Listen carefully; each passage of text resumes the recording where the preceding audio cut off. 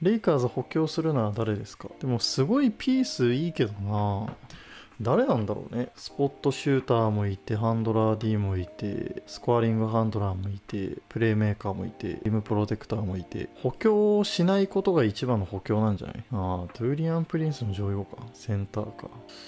そう。ねまあでもこういう時って何かを犠牲にしなきゃね得れないですからね。何かを犠牲にしてまで補強した方がいい場所があるのかっていう問いだとどうですか？例えばセンターが必要ってなるとじゃあプリンスを出しましょうっていうことになると思うんだけど、まあ、プリンスも4.5ミリオンとかでしょ？守れるガードもまあヴィンセント来たらある程度解決するんじゃないかなと思うけどな。カルーソなんてだって1巡目2枚ぐらい要求してなかったっけ？ブルズ。現代現段階の要求だと。やっぱ最初は強気に出るからね。1巡目2枚ぐらい要求されてたと思うけど。マイルズ・ターナーとバディ・ヒールドの2人獲得するできる状態でも1巡目2枚は使わなかったのに。カルーソだけで1巡目2枚出すんかなってちょっと思っちゃうけどだしレイカーズの補強を考えるときに一番最初にトレード候補に上がるのは、えー、八村かヴィンセントだよね。レイカーズが補強しましたって出した選手は実は八村でしたっていう可能性が非常に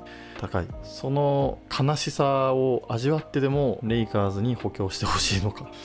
そこのなんかファン心理もあるよね。八村が放出されるんだったらクリッパーズとかちょうどいいんじゃない？あとあれ？どこだっけ？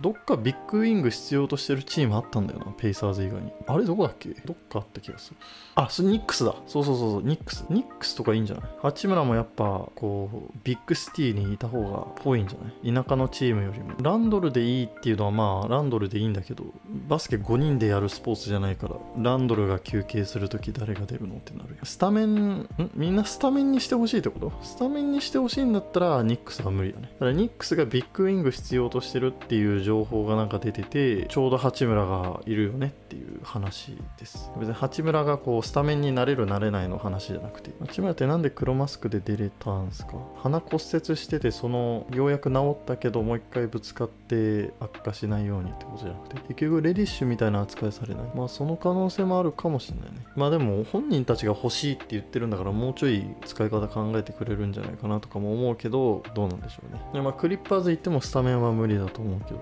みんなスタメンになってほしいってことね。じゃあもう再建チームに行くしかないんじゃないもう俺てっきりあのレイカーズからとにかく出したいっていうあれなんかと思ってた。出した上でスタメンになってほしいってことね。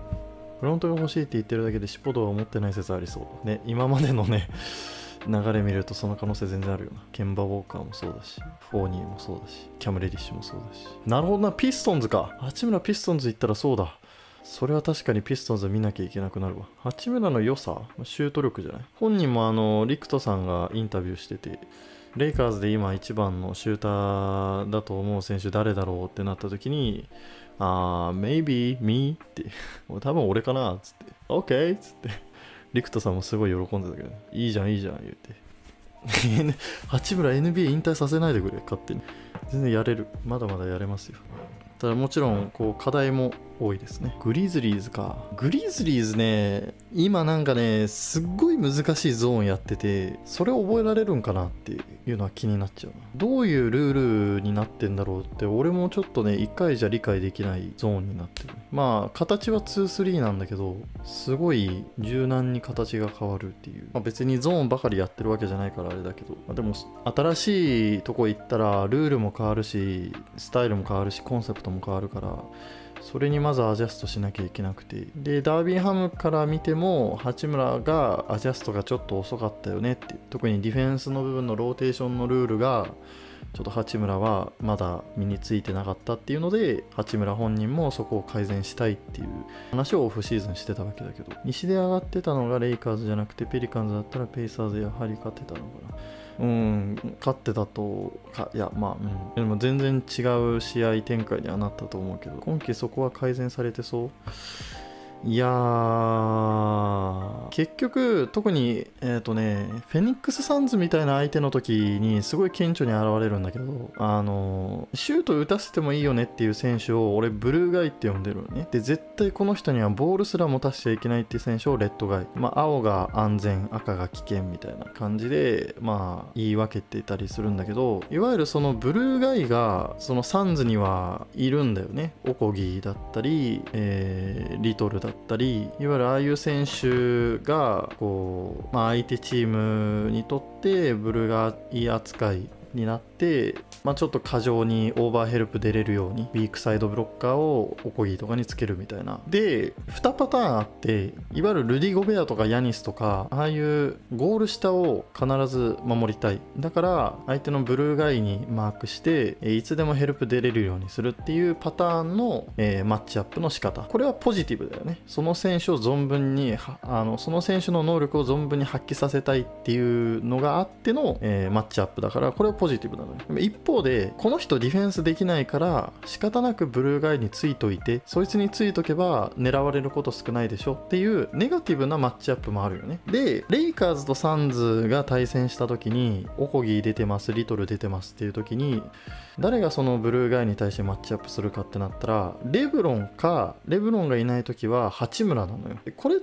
八村にリムプロテクトさせたいからつかせてるかっつったらそんなことないじゃん。レブロンもそうなのよ。だからどっちかというとネガティブなマッチアップなんだよね。ディフェンスでサボらせたい。ディフェンスで穴を隠したい。だからおこぎについといてっていう。でそれを今八村は今年もその状態ということはまあディフェンスを評価できないよねっていう話にもなるよね。いやディフェンスできないとダメというかこれがなんかペイサーズとかだったら別にいいよ。もうここはヘッドコーチのもうコンセプトに合わせなきゃいけないから、まあ、ヘッドコーチのコンセプトヘッドコーチに合わせないといけないというかこれ会社とかでもそうだと思うんだけどなんかこう組織って何かに従わなきゃいけないじゃん。同じ船に乗って同じ目的地を目指さなきゃいけないってなった時にその従わなきゃいけない存在って別に上司でもなければ社長でもないんだよね。その組織の理念なんよ。理念であり、まあ、理念って言葉がなんかすげえ堅苦しいから、まあ、いわゆる目標とか、まあ、いわゆるコンセプトとかスローガン。これにその組織の全員が従わなきゃいけない。別に社長だからこの人の言うことを聞かなきゃいけないじゃなくて社長であっても何であっても GM であってもその理念と一致してないことを押し付けようとしてきたらいやそれ違いますよねって言っていいと思うのよ。っていうのがまあ個人的な考えとしてあって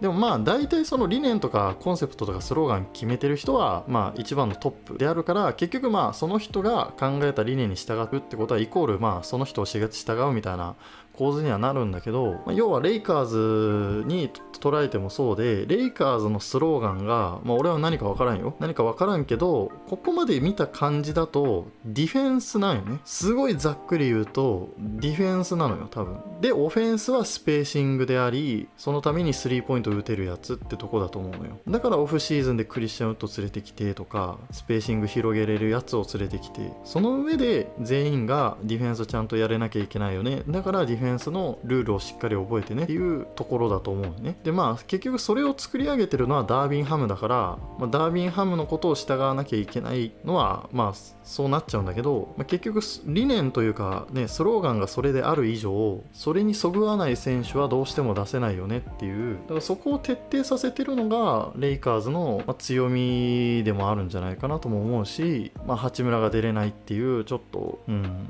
やるせない感情になる部分でもあるんだと思うけどね。八村のディフェンス力低いのはなぜ？八村がっていうよりもそのディフェンスできない人って総じてそのアクションが起きた後に行動しようとするんだよね。でディフェンス上手い人ってアクションを起こす前に予想してるのよ。予測があって準備してっていうそういう順番やん。でもまず予測ができない人って相手がアクションを起こしてから準備しなきゃいけないじゃん。もうその時点でもう一歩遅れるに決まってるんよね。もうあとは自分の身体能力に身を任せるしかなくなってしまうやん。それで生き残ってる選手もいるんだろうけどやっぱりすげえすげえ言われるディフェンダーって全員がまず予測から始まってるから。予測準備。で予測するためにはやっぱ IQ が必要なんよね。で IQ を高めるにはやっぱり研究して勉強していろんな経験を積まない。なきゃいけない。だ知識があってだから予測ができて予測ができるから先に準備ができて準備ができるから遅れずにディフェンスできるっていう順番的にはこういう順番や。だ八村がディフェンス力低いというかディフェンスできない人はそこの部分が足りない。で予測できないんだとしたらやっぱバスケット IQ 低いよねっていう風になっちゃうんだよ。